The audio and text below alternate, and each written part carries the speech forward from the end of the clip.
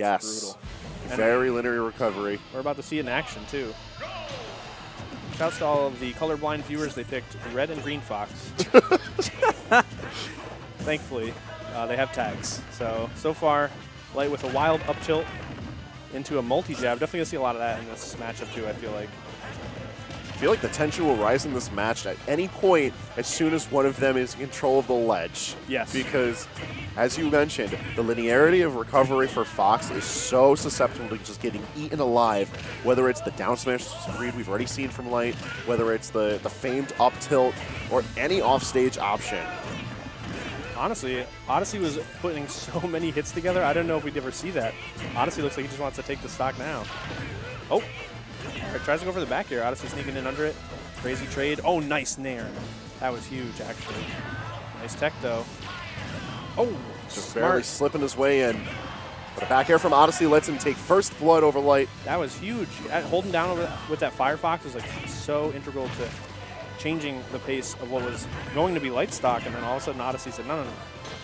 It's going to be me taking the lead. Though Light's certainly not out of it yet. He goes for his own Kara grab, and Odyssey going for the ledge. Meets it with a forward air, but kind of dangerous option. All right, actually, too higher percent for that up air to connect after the up tilt, but that grab going a little too deep. Give him the split.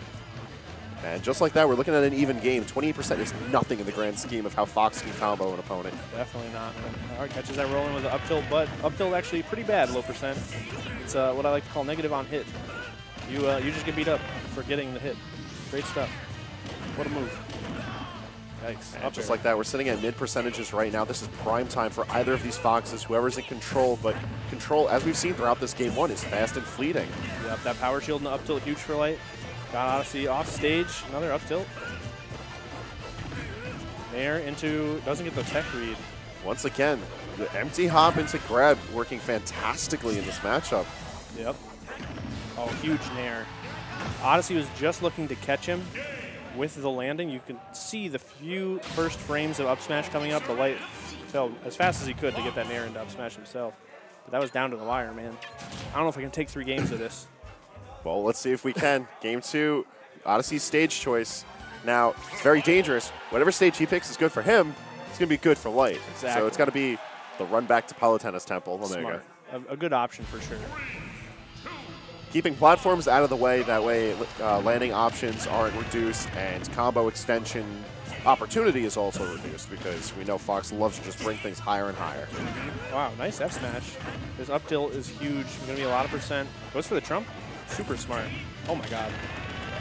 This is evil. Look at this. Offstage interaction just began. Odyssey sitting at 71%.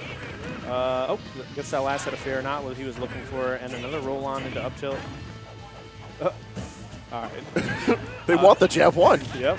All right. Well, Light gonna open him up with that rapid jab of his own. Not get the up tilt, but gets the roll on with the hip check.